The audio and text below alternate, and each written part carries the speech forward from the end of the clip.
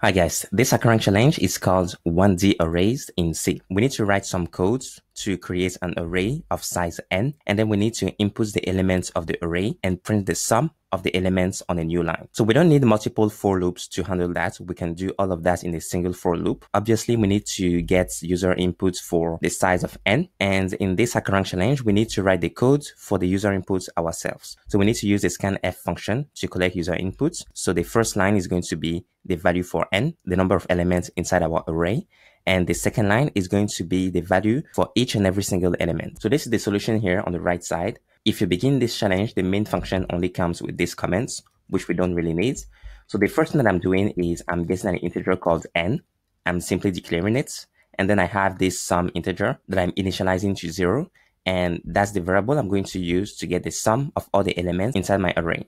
And I also have this elements variable here that I'm not initializing yet. And that's the variable in which I'm going to store the user inputs for each and every single element inside my array. So the next line gets the user inputs, the value for n with the scanf function. And then this third line is what creates the array dynamically. So when you create an array dynamically, that means that you need to create it on the heap. And this implies that you're going to receive a pointer.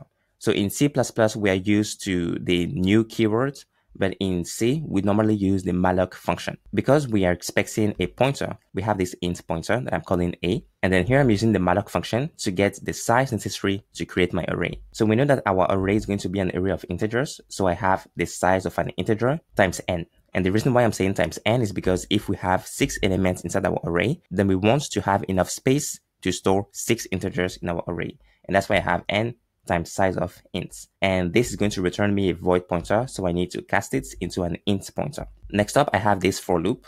And inside my for loop, I am getting the user inputs for every single element. So from index 0 all the way to index 5 for this example here. Now, after I get the user inputs, what I do is I store it at the correct position inside my array. So I'm saying I want to store the value that I just got inside the elements at position i in my array.